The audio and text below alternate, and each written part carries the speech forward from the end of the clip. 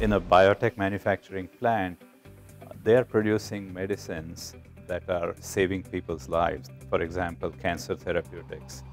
These medicines are injected in, into patients. And so it is really important that the medicines are of the highest quality and are effective.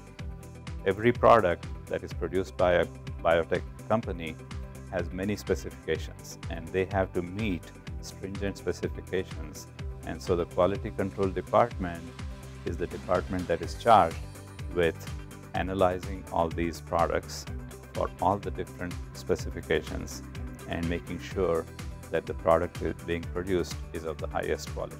We want to make sure that our process is clean throughout the whole entire uh, manufacturing, whether it's from cell culture all the way to the formulation and to the, to the, the, the actual uh, filling of the product. So we want to make sure each step of the way that it's not contaminated. Good documentation practices, it's it was so key. At Moorpark, um, there was, we would have a lab book um, and we would make sure that we document everything, that the data was precise. In biotech, you're, you're getting audited, there's federal, there's a federal agencies that come and just learning the basics of just how to use the laboratory notebook, um, how your signature is, you know, is binding. If whatever you do sign, that, that data is very important.